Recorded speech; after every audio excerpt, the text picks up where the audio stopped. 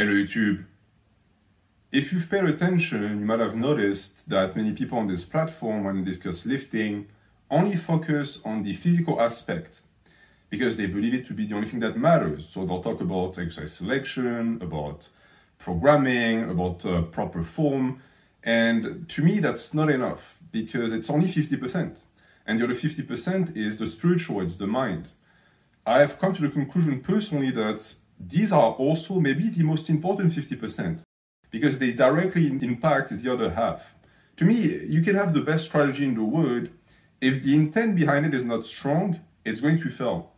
You can have the best technique in the world, the best execution in the world. If you don't know why you're doing it, how you do the lift matters very little. So what I want to do today is I want to remove us from this materialistic approach to lifting and instead focus on the unseen. Now, it doesn't mean that we're going to be uh, invoking or summoning ghosts, but we are going to focus on the immaterial for a bit. And reshaping our mindset towards that spirituality is also key in the sense that it's going to allow you to keep the physical in shape. I think that many people nowadays have received poisonous information on this platform because they have failed to take into account that there is no such thing as purely factual information. Every information you receive on this platform is also part emotions because the people that share it are emotional creatures, they're human beings. And in a sense, this new wave of evidence based information on YouTube Fitness has made you forget that. You truly do think that you're ingesting purely factual data, and that's not the case, you're not a robot.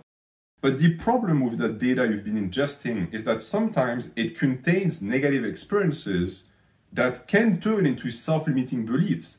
Self limiting beliefs that then in turn impede your ability to develop the physical. So, in a sense, by taking care of the mind and putting in place strategies to develop the physique through spirituality, we are also going to make sure that our physical ability to do so is going to be taken care of. I believe that the two work together. So if you ignore one, you're not going to be able to use the other to the full extent of your potential. And talking about potential, it's also what I want you to reclaim with this video. Before I even give you strategies or methods to utilize image training or to use the placebo effect, I want you to go back and to recall a time before lifting where you are not yet poisoned and polluted by information. A time where you only had possibilities and no limitations. If you can do that, you are on the right path because I think that this is the state of existence throughout your lifting journey where you had the most potential. And that's paradoxical. You could tell me, well, okay, but it's also when I was the dumbest. Not technically incorrect. You are very dumb. And it's that stupidity I want you to recall. I want you to go back to a time where you believed that everything was possible, that there was no limitations. So in a sense, I am asking you to renounce reason. Not necessarily because having a Cartesian approach to lifting is a bad thing, but having only that at the detriment of faith and trust is going to, down the line, lead to you distrusting your very ability to make progress and to get gains. So this is this immaculate innocence that we are attempting to reclaim right now. And this to me was the state where you were closest to who you truly are. Which of course is key because if we're going to attempt to build the physique of our dreams, well, you have to know what you want in the first place. I think that many people, sadly, the more information they ingest, the more of the personality of the person that shares the emotion they also take in to the point that they stop really being themselves. So the day they actually achieve their goals, they're not very happy or even fulfilled because it wasn't really their goals in the first place. So that's one form of misdirection in a sense. Then there are those limitations I just spoke about. So I'm certain that at some point or the other in your fitness journey, you have listened to someone who told you that this was impossible, that this physique was impossible, you couldn't do this. The truth in this case doesn't really matter. What matters is that they placed a limitation in your head that isn't an added benefit to your life. This is what I call disenchantment. It's when you go from a state of innocence to a state of jadedness because the people you listen to are pruning possibilities, they're shrinking your world. And that's not a good thing because looking at information, information should instead expand your world, it should expand your horizons. But instead, most of what YouTube Fitness does to people is it makes them more dogmatic. It makes them think that, all of these possibilities are not really possibilities because this person said so. So they turned their back to it, but they never even attempted that. So why exactly do fitness influencers do that to you? Well, the first reason is because they're not self-aware, but the second is because they truly do believe that they're doing you a favor. They think that by telling you what will and what will not work, they are saving you from the disappointment. Parents also attempt to strip their kids off of their innocence to prepare them for the quote unquote real world. But I've always found this approach to be quite stupid because one, the real world would take care of that eventually anyways, and two, what exactly was the real world going to do to you that what they did to you didn't already do? Imagine if you had unlimited expectations. You go out and you're disappointed. Well, the worst thing that happened is this you got disappointed.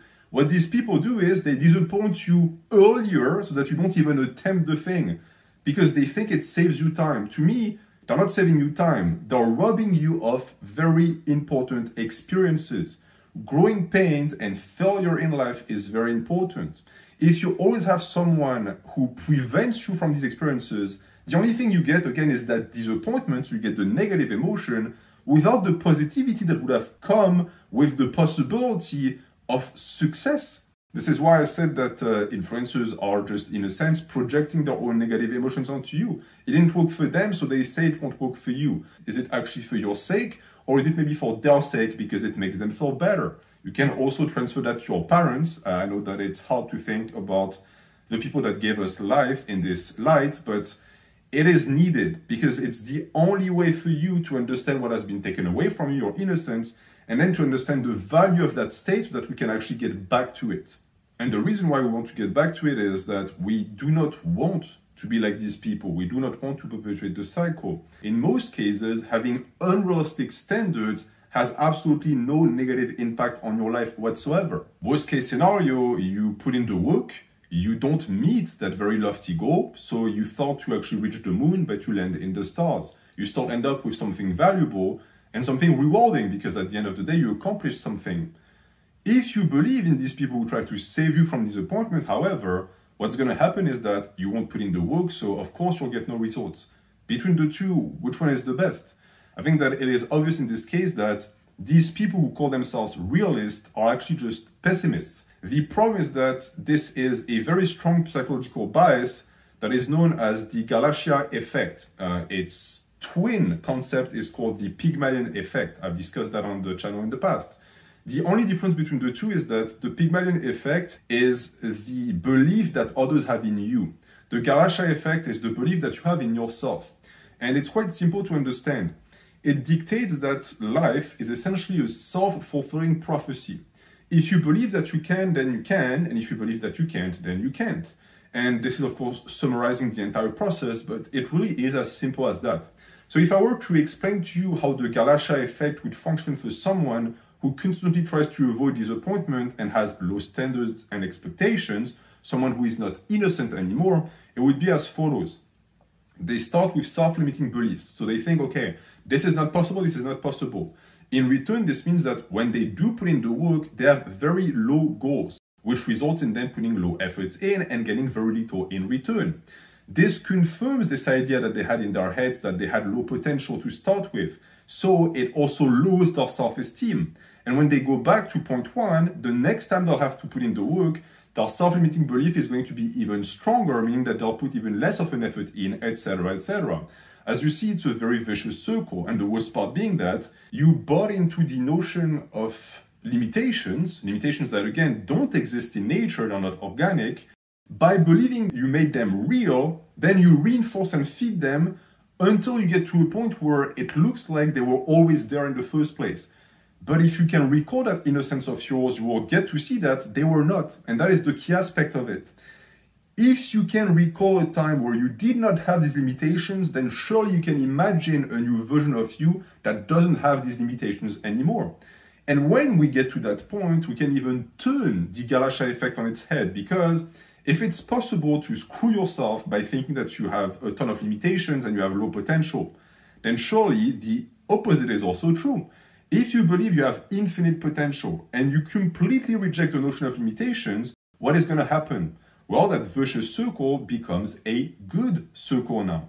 you end up putting in more work because you believe that you can do it. You end up getting much more results back. Your self esteem skyrockets. So you have now even less limita- limiting beliefs, you put in more work, etc., etc. This is the difference between the mindset of a loser and the mindset of a champion. And all of that, whether you are caught in a negative or positive Galatea effect, depends entirely on your state of disenchantment. If you have been disenchanted, most likely you have a negative outlook on life, and therefore your life is going to be negative. If you have a positive outlook on life and you still have a sense of wonder, you are going to have a good approach to life, and your life is going to be mostly positive. There's a specific sentence in French that I like very much that goes Ils ne savaient pas que les dragons n'existaient pas, donc ils en ont vu un. In English, it will translate into They didn't know that dragons didn't exist, so they saw one. In this case, the dragon is your potential. Whether you believe it is here or not is going to dictate whether it is here or not. And once you have regained that innocence and your potential, we can move on to actually trying to make this potential become a reality. Because for now, it is still immaterial.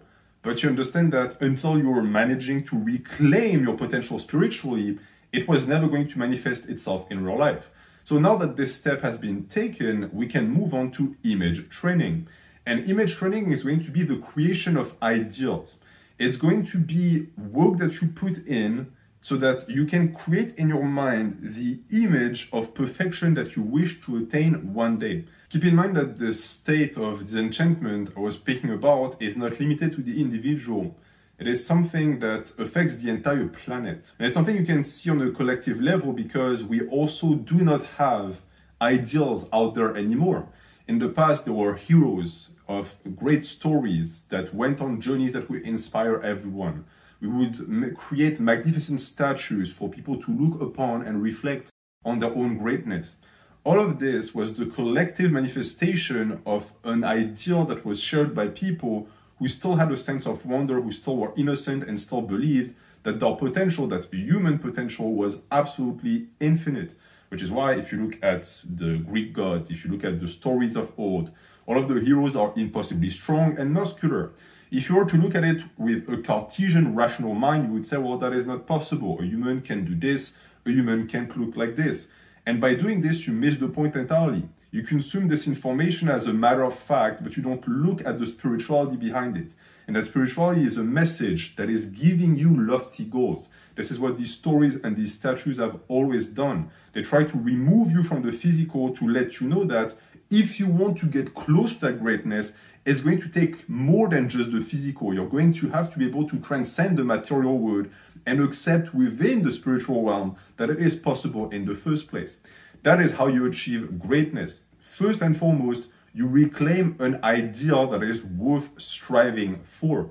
Psychologically speaking, if your goal is mediocre, with what I just explained to you with the Galatea effect, logically the amount of effort and time you will put in towards it will also be low you will achieve less, you will have lower self-esteem, etc., etc.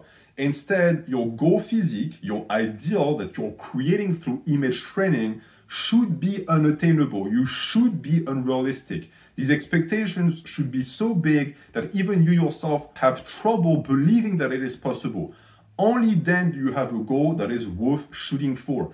If the goal is realistic and you tell yourself, well, I can clearly achieve that, then you are not shooting high enough. This is the only thing that makes a goal worth shooting for. And if you want an example, I can share my goal physique with you guys. You might be familiar with the Berserker physique. That is an archetype of what I want to look like, but not the exact body. My personal goal body is Adult Gon from Hunter Hunter. If you look at that body, you will know immediately that it is not achievable by a human being. It's not even achievable by someone on drugs. The arms are too big, the legs are too big, the waist is too tapered, everything is too massive, everything is too perfect. And that is exactly why this is my goal because I will never achieve it, but I will never stop striving for it, which is why I will most likely get very good results regardless of if my goal is met or not. I want you to do the exact same thing. And once you have done that, once you have this ideal and image in your mind, I want you to visualize it as often as possible. I want it to be a constant thought. I want it to become an obsession to the point that I actually encourage you to have reproductions of it in your gym or around your house, in your bedroom. I want you to have a poster of it. I want you to look at it a lot. This is what is going to push your spirit upward because you're going to be constantly faced with a greatness that you do not yet possess, which is going to make you want to put in more effort. Again, this will only be efficient if you manage to re enchant your life, if you have pushed away self limiting beliefs. If not, this poster and this visual of your goal body will just be a constant reminder of your own failure. Because when you see it, you will tell yourself, well, I will never achieve that. This would be detrimental, this would be negative, which is why the first step of reclaiming your innocence was so important. When you were a kid and you were watching those comic book characters or that guy in the movie, nothing in you thought that was impossible, nothing in you. This is the state that you have to reclaim. Is it possible that you will reclaim it 100% in earnest? No. The rational side of your mind is always going to be there, but I want you to push it away because in this specific scenario, it is not needed. It is just detrimental. In a sense, I want you to approach this matter like a sculptor. If one is to make a statue, first and foremost, they have to visualize what the statue is going to look like. There is a point at which the statue exists in the mind of the sculptor and not yet in reality. If that step is not taken, the statue will never exist. If the sculptor is not able to believe he has the ability to make that statue happen, it will never happen. Treat your physique with the exact same approach. If you can't envision it, then certainly your ability to make it happen is 0%. And if you think about it, the action of building a body logically speaking, is much more attainable and even reasonable than a statue. A statue, you start with a rock, or you start with a piece of wood, or with a pile of clay. And from this, the sculptor will make a beautiful woman, or he will make a lion. This transformation is much more impressive than your ability to put on muscle that is just a biological process. And yet, the sculptor believes it. He believes in his ability to put it into action and to create it in real life. And that is due to one thing and one thing only belief. The belief in a vision dictates whether or not the vision is going to come to life.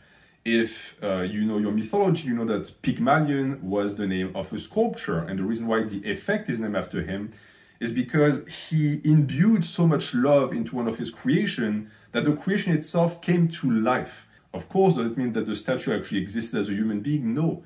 It's the metaphor behind it that is interesting and important. He believed with such fervor that he accomplished an act that is completely unreasonable and that most people would deem impossible. This is the type of intense mindset that you must achieve. But just achieving the mindset is, of course, not enough. If Pygmalion just wished for the statue to come to life but never actually made the statue, nothing would have happened. So, now we're going to move on to the second step of image training, where you are going to put all of that into action. I'm certain that for some of you guys who are interested in visualization, you understand that visualization without action is nothing. The two together create manifestation. That is how it works. It is the movement of the spirit towards a specific goal that then is followed by the movement of the body towards that same goal. For anyone who has watched Grappler Baki, I'm certain that there is a specific scene that is coming to mind right now. There is a moment of the story where Baki, who is trying to become a better fighter, tries to imagine the creation of an opponent that would allow him to level up his skills and he is so intent on developing his skills and becoming the strongest man on earth that he manages to create a, a two meter tall, a six feet tall praying mantis, and he has an actual fight against it. Now, of course, I'm not going to ask you to do that because in the story itself, it's a metaphor. The metaphor is the fact that the spirit and the mind has an impact on the material world because it is what moves the body that has an impact on this material world. So just like Baki managed to manifest opponents to sharpen his skills and become stronger, our second step in image training is going to be to use psychological tricks that are going to promote the construction of our physiques. And this is when we run into another problem that is linked directly to self-limiting beliefs. You might now have managed to reclaim your innocence. You might have started to believe that your goal body is within reach, But if you don't believe that the methods that would get you there work, then it is all for nothing. The goal body will just stay in your mind and never actually manifest itself. It's what I said at the start. You can have the best training strategy in the world. You can have the best technique in the world. If you don't believe that what you're doing actually works or amounts to anything, nothing is going to happen. That is the now infamous placebo effect. If you give a drug to someone and you tell them that it is efficient, if it is a placebo and has no actual innate effect, as long as the person believes it does, it can have positive influences on the health of that individual. That is absolutely insane, and we still don't quite understand how it works. The only thing we know is that it works. It has been verified thousands of times. But interestingly enough, the lifting world has never really taken advantage of this. Many times you will hear people say that a certain lift or method worked because you believed it worked, so it's only placebo, as if it took away from the effectiveness of the practice. Maybe it's because, again, these people have a Cartesian approach to things and they only accept evidence based terminology or methodologies. What I hear and understand, however, in this scenario is that you follow the method that on paper should not be working and it worked because you believed in it. What if we can tap into this? What if we can use that placebo effect and apply it to every single aspect of our training? Then, even if technically it's not optimal, it's still going to get us great results because we're going to believe that it does. And even crazier than that, this means that an optimal exercise on paper will become suboptimal if you don't believe it does. Because the placebo effect works both ways. On the other side, it's called a nocebo if you see these two things and these two concepts, it's impossible to claim that the practice of lifting is relegated to the physical because this quite literally can have an impact on the physical results that is so high that it can actually negate the effect of a practice or enhance it based only on how effective or ineffective you believe the practice to be.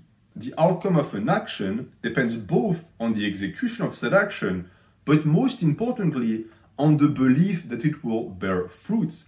As long as you have that self belief, you will be fine. If you lose it, you will crash and burn. So, this is what I want you to work on as much as possible. Believe that you have no limits and believe that what you do in the gym works. But it's not enough that I just tell you to do that because it's very easy for me to sit there and tell you to just believe in yourself. Instead, I'm going to give you methods, just like the Galatea effect I explained to you, that are going to create momentum for you where you will have to believe because you will see results. So the methods that I personally employ to maximize the use of the placebo effect is, for example, the action of looking at the muscle as you train it and visualize it training. It's an advice that has been given to me by someone who knew absolutely nothing about training, so they were still innocent. And unsurprisingly, they gave me very good advice. So they told me that when I was training my bicep, for example, it was a good idea to visualize the inner muscles of the bicep stretch and contract because it would, in a sense, make the bicep grow faster. Now, does that make any sense in terms of biology? Absolutely not. But in terms of the placebo effect and the Galatea effect, absolutely. Because you end up believing that what you do has insane ability to transform the bicep, so logically, you're going to apply yourself more, put in more effort, be more consistent, which naturally will lead to more results, more of an ability to apply yourself, etc., etc. You are going to build up that momentum. And in the same vein, I would like you to connect the ideal physique you created in your head with your practice in the gym. So when you train your bicep, try to imagine how you want your bicep to look like. To link it back to Baki, it's a little bit more unknown because it's in the previous seasons. But there is a scene where Baki himself talks about the fact that there has been studies that show that people who picture their ideal body as they train the body parts see better results. And at first I didn't actually believe it, but looking into it, it's a thing. And this is why image training is so prevalent and was so prevalent, especially during the bronze and silver era. Most of these guys who are fine practiced this visualization, they practiced this imagination where they were constantly trying to summon this body that they were dreaming of. It can be through meditation, if it's something that you're into. I personally like to do it as I train because I think that the best moment in your daily life where you're the most connected to both the spiritual and the material is when you're actively lifting weights. Of course, this is much easier on isolation work. Uh, on compounds, you want to be a little bit more focused. But if you work on a muscle in particular, like the bicep, for example, this is when you can reutilize mind-muscle connection. Mind-muscle connection has two branches. There's the material branch, the physical branch that of course everyone focuses on, which is the ability of your own self to feel the muscle working as you train it. That is a good application, don't get me wrong. But I think that the second one, the spiritual one, is much more important, and that is the spiritual one. The spiritual application of mind muscle connection is this ability as you train the muscle to picture in your head what you want it to look like. Now, it might sound crazy until you realize that this is just another application of the placebo effect. The placebo effect essentially dictates that everything that the human mind believes in will manifest in reality. Once again, to connect it to stories that I love, in one piece there is a very small panel of a boat falling from the sky and a, a, a, false quotation by an author that never existed that says that everything that the human spirit and the human mind can imagine can manifest itself in reality. And I believe in that 100%.